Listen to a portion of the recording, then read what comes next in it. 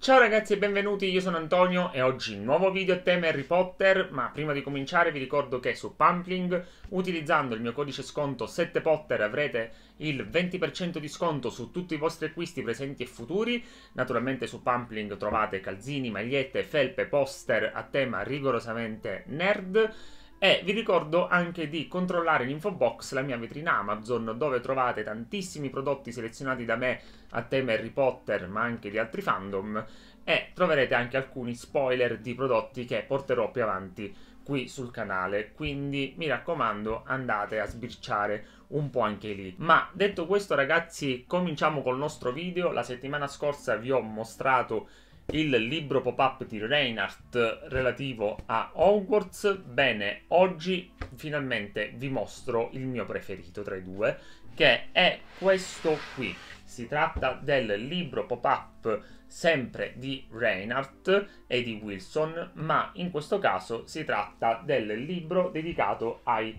pop-up di Diagon Guardate quanto è bella questa illustrazione già qui in copertina. Sul fronte troviamo la Gringot, Harry e Hagrid che si avviano verso la Gringot e poi tutti i vari negozi di Diagon Alley. Sul retro troviamo invece una bellissima illustrazione di Ollivander e del drago della Gringot col trio sul suo dorso e invece sul dorso, sulla costa del libro, troviamo questa volta i tiri vispi Weasley quindi è davvero molto molto bello e anche in questo caso come vi dicevo la settimana scorsa ho scelto la versione americana perché ha un prezzo più contenuto Naturalmente sono libri ufficiali del Wizarding World, sono tutti logati Warner Bros. e anche in questo caso questo libro contiene un trick simile a quello del castello di Hogwarts che vi ho raccontato la scorsa settimana. Per chi si fosse perso il video lo trovate nelle schede.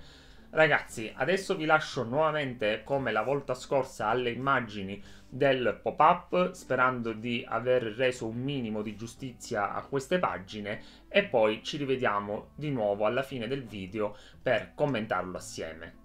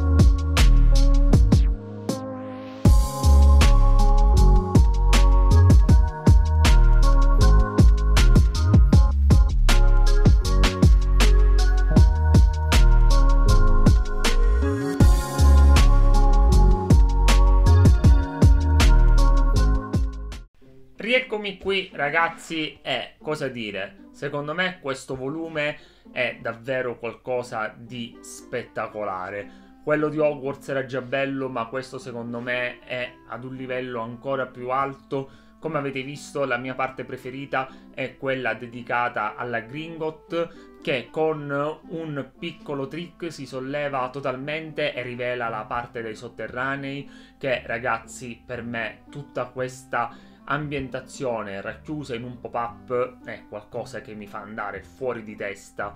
Io non riesco neanche ad immaginare quanto lavoro ci sia dietro a queste pagine. È davvero intricatissimo e ogni pop-up, ogni leva funziona alla perfezione. Sono assolutamente sbalordito anche della bellezza delle due pagine relative al nottetempo e al, all'espresso per Hogwarts, anche quello super intricato, super complicato, ma che una volta dispiegato sembra quasi un fiore che sboccia in modo naturale. Io non so davvero come spiegarlo in modo diverso, ma eh, sono stupefacenti. Sono davvero super super belli, super colorati. Le illustrazioni di per sé sono già davvero molto belle, riprendono le ambientazioni del film.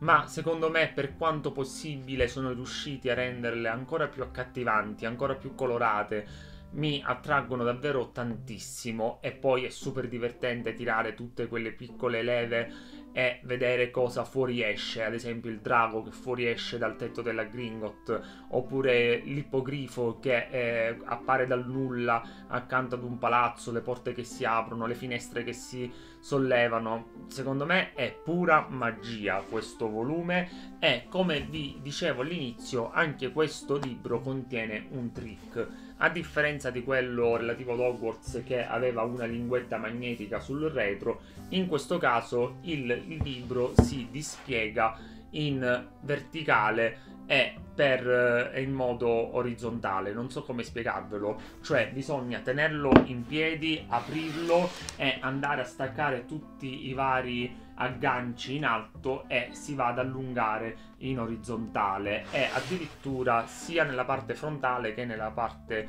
sul retro troviamo due ambientazioni. Nella parte davanti troviamo tutta diagonale iperesteso e sul retro invece troviamo l'espresso per Hogwarts quindi addirittura riesce a coprire due facce e secondo me anche questa cosa di voler aggiungere un ulteriore livello di effetto wow a questi libri che già così di per sé sono molto molto belli, vale naturalmente la spesa.